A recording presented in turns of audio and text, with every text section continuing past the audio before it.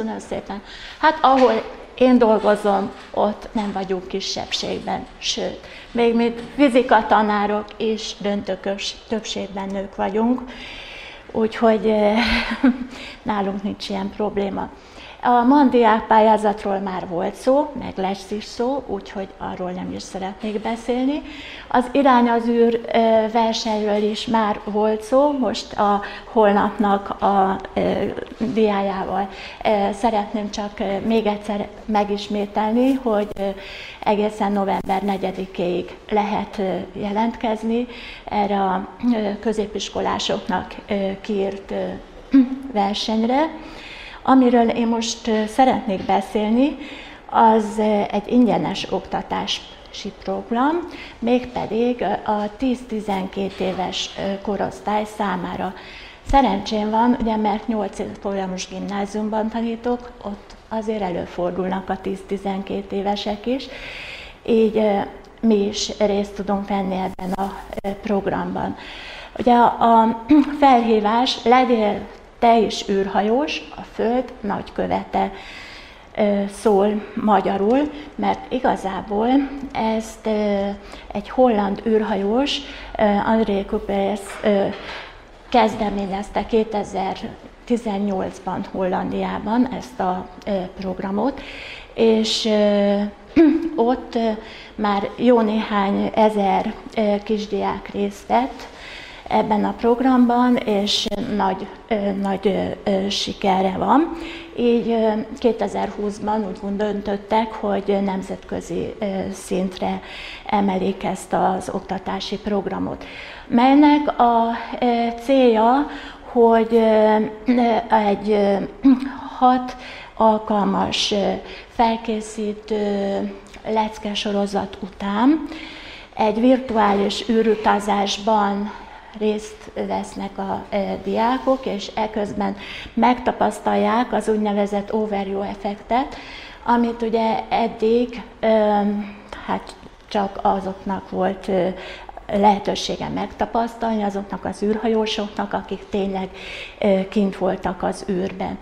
És ezáltal ugye nem csak az űrtudományokat próbálják a kisebb gyermekek felé is hát népszerűsíteni, hanem ennek egy komoly környezetvédelmi szemléletváltás is a célja, hogy minél kisebb korban ugye megismerik a, diákok a, ezen az overview hatáson keresztül, hogy a Földünk a világűrben egy milyen kis törékeny bolygó. És itt látható az a kamion, amely át van alakítva űrhajóvá, és ott ülnek a diákok a belsejében, amit az előbb mutattam, kilenc diák fér el egyszerre, és még a székük is mozog, mint az Ipoly Tarnóci Nemzeti Parkban, tehát biztos, hogy nem véletlen, hogy azt mondják a hollandok, hogy nagyon sikeres ez a program, mert biztos nagy élményt jelent.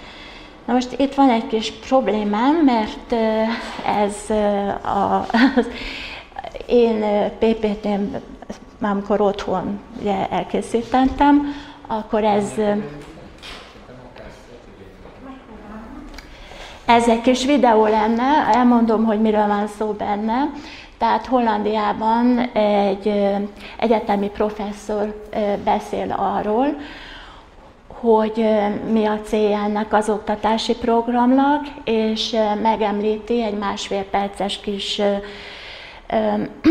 részlet van csak bevágva a videóból, megemlíti, hogy most már nem csak Hollandiában, hanem Olaszországban, Franciaországban és Magyarországon is folytatódik ez a program. Tehát abban a szerencsés helyzetben lehetünk, hogy az olaszok, magyarok és bocsánat, olaszok, hollandok és franciák mellett mi vagyunk a negyedik ország, aki ebben a programban részt vesz. Szerintem akkor, akkor hagyjuk. Ja, mert éppen szerintem meg nem. Most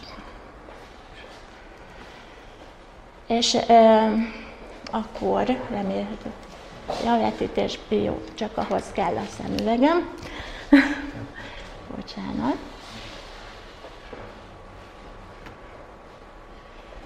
Jó. Tehát, ahogy elmondtam, ugye ebben a videóban meghallanánk, hogy Magyarországra is elérkezik ez a, az űrhajóvá átalakított kamion, mégpedig jövő tavasszal, március végén. És 15 iskola, 1400 diákja lesz abban a szerencsés helyzetben, hogy részt vehet ebben az oktatásban, illetve ebben a virtuális űrutazásban. Itt lehet látni, hogy egyáltalán nem főváros centrikusan helyezkednek el azok az iskolák, ugye, ahova majd elkerül ez a program, hanem tényleg szerte az országban, és hát igazából annyit azért elárulok, hogy az ott nem Nyíregyháza, hanem Gyulaháza, ahol majd lesz az egyik iskolában az a virtuális űrutazásra lehetőség, és ott Miskolcnál sem Miskolcról van szó, hanem Hernád Németiről, ugyanis másodmagammal egy Hernád németi angol szakos kolléganővel voltunk benne abba a nemzetközi csapatba, akik tavasszal tehát a hollandokkal, franciákkal és olaszokkal együtt Zoomon keresztül természetesen kidolgoztuk a leckéknek a az anyagát, amit aztán majd mindegyik ország persze egy kicsit a maga képére fog formálni, és ugye ezért Hernád Németibe fog majd sor kerülni az ő repülésre. Na most az iskolák azok különbözőképpen oldják ezt meg, ezt a 12 alkalmat. Na, nagyon nehéz az, hogy beletegyék az éves tanmenetbe, Például nálunk erre nem is vállalkozott a tantestület, hanem egy szakköri keretben kapják majd az űrképzést a kisdiákok. Igen, nem, csak 6 héttel az űrutazás előtt, tehát február elején kell megkezdeni ezeket a, az alkalmakat, és a mi iskolámban hát nagyon nehéz lenne akkor beindítani egy programot, úgyhogy ezért szeptembertől kellett valamit kitalálni az első fél évre, hogy tényleg egy egész éves szakkör váljon belőle, és egy, egy e-twinning projekt keretében a mesterséges intelligenciával foglalkozunk, szintén nemzetközi szinten, és akkor gondoltam, hogy legyen az első fél évben ugye erről szó. Igen, nem, csak akkor valami nevet kell adni a szakkörnek, és valami olyan nevet kell, ugye, amit könnyen ki tud mondani, jössz délután STEM-re, tehát ugye, hogy ez, ez nem okoz neki problémát, és ez a STEM az a bizonyos Science, Technic, Engineering és Maths-nek a ö, mozaik szava, úgyhogy ö, ebben a Spacebus projektben is erőteljes szerepet kap a STEM vonatkozás is.